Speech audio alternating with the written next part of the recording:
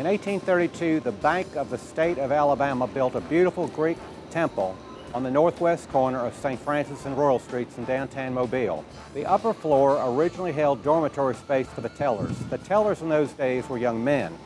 The idea was that they could leave a trapdoor open during the night. If they heard someone break in to try to get in the vault below, they could sound the alarm.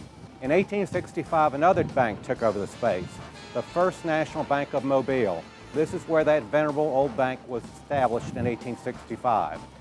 The upper floors at that point became home to the Manassas Club. The Manassas Club was a very uh, elite social organization, and they would be in operation in Mobile until the 1920s.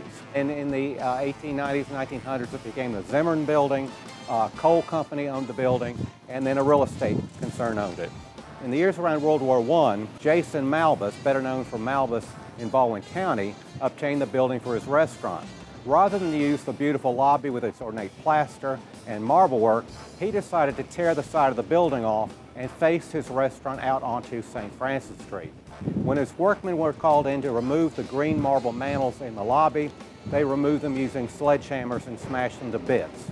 The building survived until 1929 when Mr. Malbis got the great idea that he'd build a 33-story hotel and office building on this site.